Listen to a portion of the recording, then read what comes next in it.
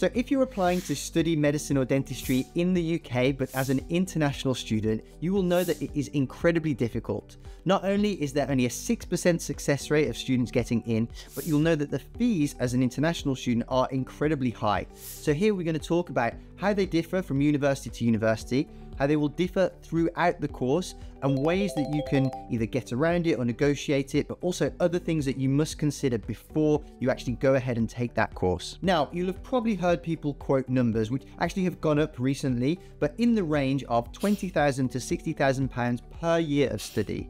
Now, this doesn't tell the full picture because it is broken down slightly per year depending on the university. So I'm going to use a handful of universities, about five, to illustrate the point that I'm trying to say.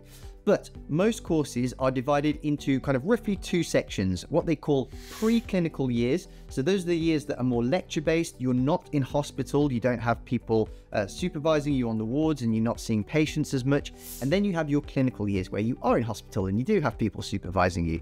Now, there are different costs associated with each of those. Now, of course, those later years in hospital where you have much more individual attention, where you know consultants are probably supervising a handful of students at a time versus a big lecture hall makes a massive difference. So the costs for the clinical years are much higher. So you can see here some of the prices for the preclinical years. Like I say, this is the theory where you're learning the more science-based stuff. And you can see that places like Leicester might be the lowest in the 23,000 range, and then Oxford are much higher, almost double that for their preclinical years as well. That's probably because Oxford have the tutor system where they actually have much more one-on-one time, but still you can see there is a large variance in those universities and how those prices differ. Now the other three universities that we've chosen, Edinburgh, Manchester and Birmingham are all Russell Group unis, so very prestigious universities and probably represent about the middle of the road. But then you can see how they differ for the clinical years. Again, these are the much more hands-on years where you're in hospital seeing patients, getting much more individual attention from the senior doctors, the consultants, so therefore the prices are reflected. But as you can see, for Leicester the lowest, it's almost doubled in price, over £41,000. And for Oxford, the most expensive, you're nearing £60,000, just, just slightly over £57,000. So you can see just how expensive it is. also, the range in price and how much that would differ when you have five years of study at medical school, how those will compound and add up over time. Another thing that you need to factor in when you are considering which university to apply to as an international is not only the cost of the fees themselves, but also the cost of living. So it could be accommodation. Again, Oxford will have much more expensive accommodation than say Leicester.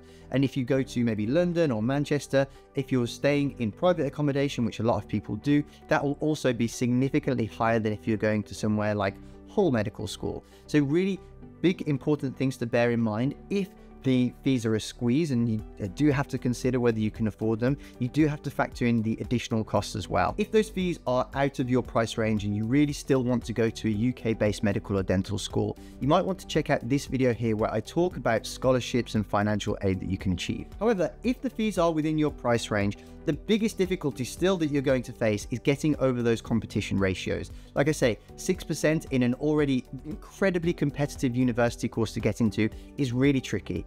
You have to make sure that you get absolutely everything about your application right. So if you would like some help to make sure that you get into those very few places available, I recommend that you check out this video here where you'll learn a little bit more about the Future Doc program and you can have us help coach you one-on-one -on -one to optimize your application and get into your dream university.